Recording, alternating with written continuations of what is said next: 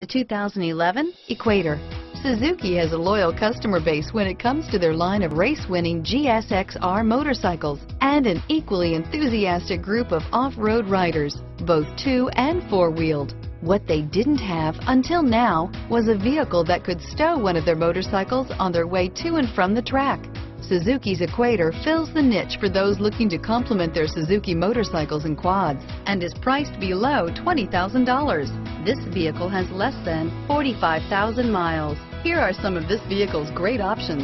Anti-lock braking system, traction control, stability control, air conditioning, power steering, adjustable steering wheel, driver airbag, cruise control, keyless entry, aluminum wheels, four-wheel disc brakes, four-wheel drive, AM FM stereo radio, CD player, bucket seats, passenger airbag, power door locks, power windows, brake assist, rear head airbag.